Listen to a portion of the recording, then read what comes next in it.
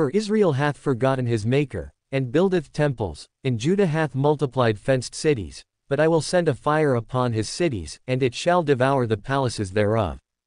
Hosea 8:14 KJV. Thoughts on today's verse. Please note. We chose these verses over a decade ago. Each reference this year corresponds to its date. August 14, 2024 became Hosea 8:14. This method challenges us to hear verses we often ignore and calls us to adjust our lives and priorities to align with God's teaching. In prosperity, God's people left the Lord. They followed the cultural gods around them and engaged in the immorality of that world. The northern tribes, known as Israel at that time, became secular and pagan, like those around them. They lived immoral lives, forgot to care for the poor, overlooked the foreigners among them, cheated widows, mistreated the fatherless, and took advantage of the powerless Amos 5, 9-15.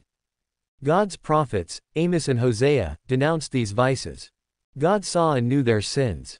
The sovereign Lord wanted the northern tribes of Israel to recognize they had caused their coming destruction. Their hard hearts and their repeated refusal to live with God's character Deuteronomy 10:14-22 led to their obliteration. As Christians, part of God's chosen people and his holy priesthood 1 Peter 2, 9-12 we must heed the warning of Israel's history. Our lives must portray his values, our hearts must display his compassion, and our hands must do his will, or our claims are meaningless, and our future is tenuous.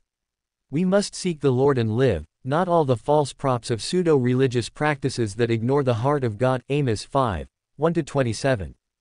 My prayer. Father, forgive us, for we have sinned. Father, forgive me, for I have sinned. We have too often looked the other way and ignored social, judicial, and racial injustice.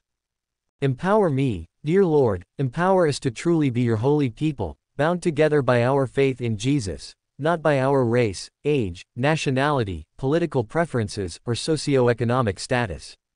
Please connect us back to you and to each other through our praise and our actions that exemplify your character and grace to our divided and often hate-filled world. In Jesus' name, we pray. Amen. All scripture quotations, unless otherwise indicated, are taken from the Holy Bible, New International Version. Copyright 1973, 1978, 1984, 2011 by International Bible Society. Used by permission of Zondervan Publishing House.